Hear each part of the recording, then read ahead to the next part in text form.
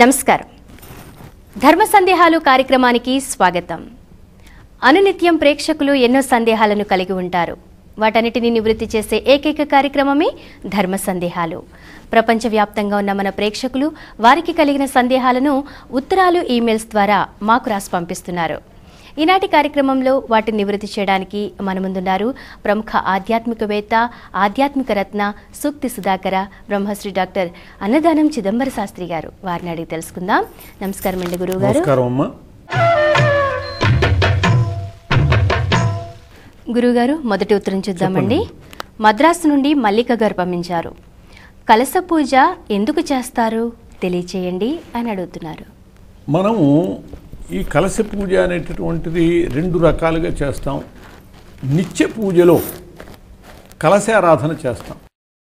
అంటే ఏమిటంటే మనం ఆచమనం చేసినటువంటి జలాన్ని భగవంతునికి సమర్పించకూడదు. ఇవి ఎంగిలి నీళ్ళు. కాబట్టి దానికోసమని ప్రత్యేకించి ఒక కలశం పెట్టి ఆ కలశ జలాన్ని పవిత్రంగా చేస్తాం. కలశం గంధపుష్పాక్షతైరభ్యక్ష అని చెప్పి కలశ పూజ. అది కూడా ఓ పూజ చేస్తాం.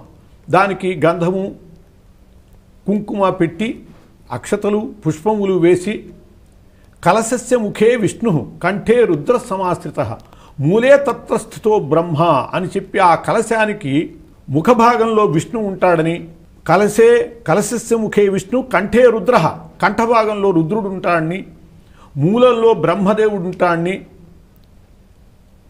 కుక్షౌతు సాగరా సర్వే సమస్త సముద్రాలు ఈ మధ్యలో ఉంటాయని అలా పవిత్రంగా దాన్ని సిద్ధం చేసి గంగే యమునే చేవ గోదావరి సరస్వతి నర్మదే సింధు కావేరి జలేస్మిన్ సన్నిధుం కురు అని చెప్పి సమస్త పవిత్ర నదీ జలాల్ని స్మరించటం ద్వారా భావనామూలకమైనది దైవ కార్యం కాబట్టి ఈ జలమునందు సమస్త న పవిత్ర నదీ జలాల్ని ఆవాహన చేయటం ద్వారా ఈ జలాలు భగవంతుని సేవకి చాలా అర్హమైనటువంటివి అవుతాయి. ఈ జలాలతోనే దేవం ఆత్మానం పూజా ద్రవ్యాన్ని సంప్రోక్ష అని చెప్పి భగవంతుణ్ణి సంప్రోక్షణ చేస్తాం. నిత్యము విగ్రహాలకి స్నానం ఉండదు. అందువల్ల ఇలా సంప్రోక్షణ చేస్తాం. పూజా ద్రవ్యాల్ని సంప్రోక్షణ చేస్తాం. వాటిని పవిత్రం చేయటం ఆత్మానం సంప్రోక్ష. మనల్ని పవిత్రం చేసుకుంటాం. ముఖ్యంగా జలాలు కూడా ఉచ్ఛిష్ట దోషం కలిగి ఉంటాయి అని అంటారు. ఉచ్ఛిష్ట దోషం అంటే ఎంగిలి. నీళ్ళు చేపల ఎంగిలి వల్ల అవి అపవిత్రమై ఉంటాయి.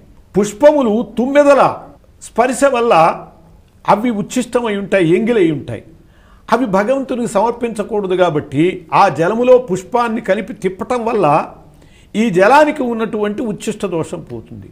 ఈ నీళ్ళతో ఆ పుష్పముల మీద మార్జన చేయటం వల్ల ఆ పుష్పాలకు ఉన్నటువంటి ఉచ్ఛిష్ట దోషం పోతుంది. ఇలా అవన్నీ పవిత్రమయ్యాక పవిత్రమైనటువంటి వస్తువులతో పవిత్రమైనటువంటి జలాలతో భగవంతుని పూజ చేయాలి కాబట్టి నిత్య పూజా విధిలో కలశారాధన ఇలా చేస్తాం. రెండవది ఏ దేవతకైనా ఉత్సవాలు జరిపేటప్పుడు ఆ దేవతని కలశంలోకి ఆవాహన చేసి కలశోదకంలోకి పంచపల్లవాలు అవి వేసి ఆవాహన చేసి కలశానికి పూజ చేస్తే ఆ దేవత వచ్చి కలశమునందు కూర్చున్నట్లే.